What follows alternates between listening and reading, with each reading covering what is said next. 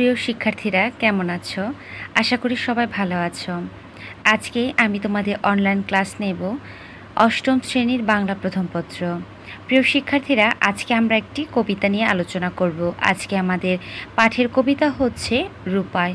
কবি জসিমউদ্দিন লিখিত তাহলে চলো শিক্ষার্থী বন্ধুরা, আমরা আমাদের মূল পাঠে চলে যাই। এই গায়ের এক চাষার ছেলে লম্বা মাথার চুল কালো মুখের কালো ভ্রমর কিসের রঙিন ফুল? কাঁচা ধানের পাতার মতো কচি মুখের মায়া। তারই সাথে কে মাখিয়ে দিয়েছে নবীন ট্রেনের ছায়া?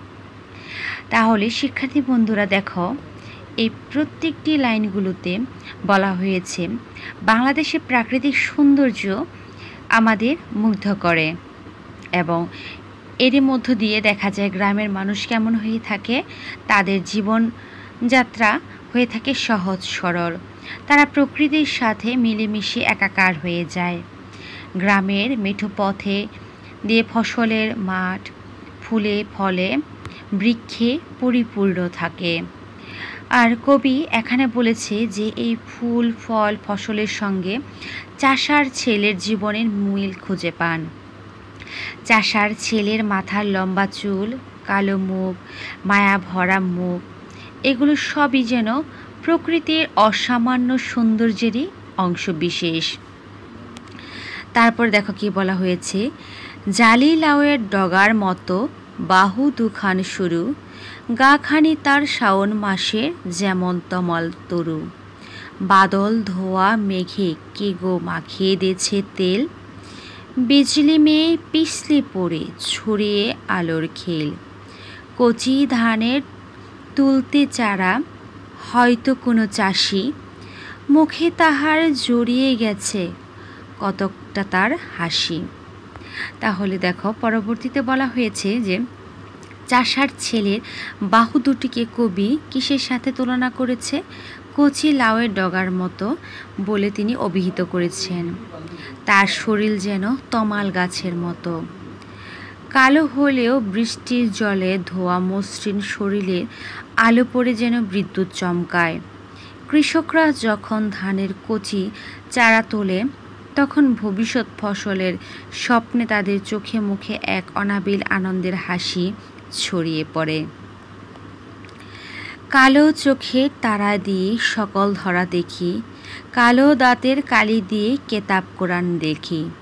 জনম কালো, মরণ কালো কালো ভুবনময়। চাষিদের ওই কালো ছেলে সব করেছে জয়। সোনায় যে জন সোনা বানায়, কিসের গরব তার? রং পেলে ভাই গড়তে পারে রামধনুকের হার। কৃষকের ছেলে বলে তাদের যারা অবহেলা করে, কবি তাদেরকে প্রকৃত সত্যটা বোঝাতে চেয়েছে। কবির মতে, কালো বলে কাউকে অবহেলা করতে নেই, কারণ আমরা কালো চোখ দিয়ে পৃথিবীর সমস্ত সৌন্দর্য দেখি। কালো কালি দিয়েই কেতাব, কোরআন লিখি এবং জন্ম, মৃত্যু বহুকালের এই জগৎময়ী ছড়িয়ে আছে। চাষিদের কালো ছেলে সেই সব কিছুকেই জয় করে চলেছে। স্বর্ণাকার সোনা দিয়ে অলঙ্কার তৈরি করে। তাতে গর্ব করার কিছু নেই। আবার কবি যদি রং পান, তবে রামধনুকের হারও গড়তে পারে। কালোই যে জন আলো বানায়, ভোলায় সবার মন, তারই পদে রজের লাগি লুটাই বৃন্দাবন। সোনা নহে, পিতল নহে নহে সোনার মুখ। কালো বরণ চাষির ছেলে, জোড়ায় যেন বুক। যে কালো তার মাঠেরই ধান যে কালো তার গা, সেই কালোতে স্নান করে উজ্জ্বল তাহার গা। কবি মনে করেন, চাষার ছেলে নিজে কালো। তাতে তার মূল্য কমে না, কারণ রোদে পড়ে বৃষ্টিতে ভিজে সে কালো হয়ে গেছে। আবার অপরদিকে দেখা যায় যে বন্যা বয়ে আনে ফসল, জমি সুখ সমৃদ্ধি। কারণ চাষার ছেলে রোদে পড়ে বৃষ্টিতে ভিজে সে কালো বরণ চাষার ছেলের শরীর কালো হয়ে গেছে। আর তারই মাধ্যমে সে সুখ সমৃদ্ধি বইয়ে আনে। তখন সবার মন ভরে ওঠে। তাদের পায়ের ধুলো তীর্থস্থানের মতো পবিত্র। সোনা, পিতল শোভিত চকচকে বস্তুর চেয়েও চাষার ছেলের কালো মুখ দেখলে কবির বুক জুড়িয়ে যায়। আর তাই কবি বলেছেন যে ছায়া ঘেরা গ্রামে কালো তার সেগুলোতে অবগাহন করেই কৃষকের ছেলের গায়ের রঙও কালো। আকরাতে তার বাঁশের লাঠি, অনেক মানের মানি, খেলার দলে তারে নিয়ে সবার টানাটানি। জারির গানে তাহার গলা ওঠে সবার আগে, শাল সুন্দি পেদ যেন সকল কাজেই লাগে। বুড়োরা কয়, ছেলের ও নয়, পাগাল লোহা যেন, রূপাই যেমন বাপের বেটা, কেউ দেখেছ হেন? যদিও রূপা নয়ক রূপাই রূপার চেয়ে দামি এককালেতেই ওরি নামে সবগা হবে নামি। তাহলে কবি এখানে বলেছেন যে, চাষার ছেলে শুধু ফসল ফলিয়ে সবার খাদ্য জোগাড় করেই চুপ করে থাকে না। সে গ্রামীণ ঐতিহ্য লালন করে। এদেশের লোকসংস্কৃতিক ধারক বাহকও সে। চাষারা কালো ছেলের গুণের শেষ নেই। সে কারবালায় শোকাবহ ঘটনাসমূহ কথা জারির গানে পরিবেশন করে সবার দৃষ্টি কাড়ে। তেমনি গ্রামের বৃদ্ধ গুরুজনরা তার প্রশংসা করেন। তার পরিচয় দিতে গিয়ে বলেন, রূপাই কেবল একটি ছেলেই নয়, সে ইস্পাতের মতো সাহসী একজন মানুষ এবং বাপের মুখে উজ্জ্বলকারী যোগ্য সন্তান।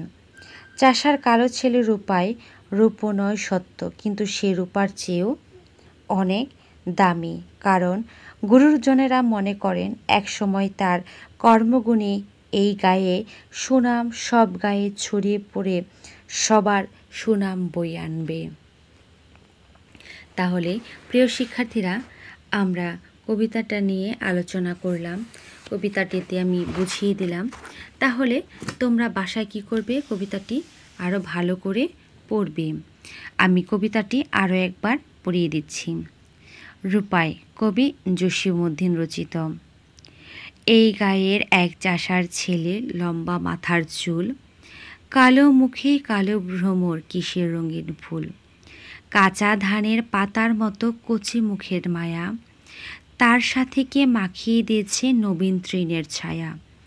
জালিলাউয়ের ডগার মতো বাহু দুখান সরু গাখানি তার শাওন মাসে যেমল তমাল তরু। বাদল ধোয়া মেঘে কে গো মাখিয়ে দিয়েছে তেল? বিজলি মেয়ে পিছলি পড়ে ছড়িয়ে আলোর খেল। কচি ধানের তুলতে চারা হয়তো কোনো চাষি।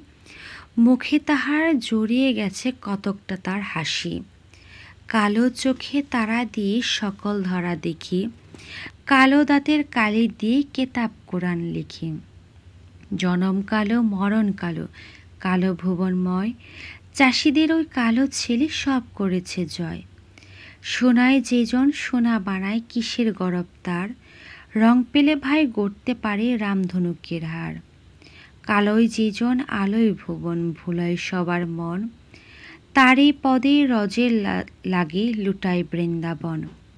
সোনা নহে পিতাল নহে নহে সোনার মুখ। কালো বরণ চাষির ছেলে জোড়ায় যেন বুক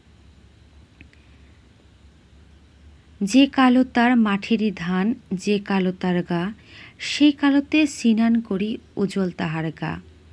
আকরাতে তার বাঁশের লাঠি অনেক মানে মানে খেলার দলে তারে নিয়ে সবার টানাটানি। জারির গানে তাহার গলা ওঠে সবার আগে। শাল সন্ধি বেদ যেন ও সকল কাজে লাগে। বুড়োরা কয়, ছেলেরাও নয়, পাগাল লোহা যেন রূপাই যেমন বাপের বেটা, কেউ দেখেছ হেন? যদিও রূপা নয়কো রূপাই, রূপার চেয়ে দামি। এককালেতে ওরি নামে সব গা হবে নামে। তাহলে শিক্ষার্থী বন্ধুরা, কবিতাটি আমি পড়িয়ে দিয়েছি। তোমরা একটু ভাষায় ভালো করে পড়বে। এবং তোমাদের কাজ হবে, তোমরা এই কবিতাটি ভালো করে রিডিং পড়বে। এবং এখান থেকে যে পাঠ পরিচিতি এবং কবি পরিচিতি রয়েছে, সেটি তোমরা পড়বে। এবং তোমাদের খাতায় লিখবে। আজকে এই পর্যন্ত সবাই ভালো থাকবে সুস্থ থাকবে।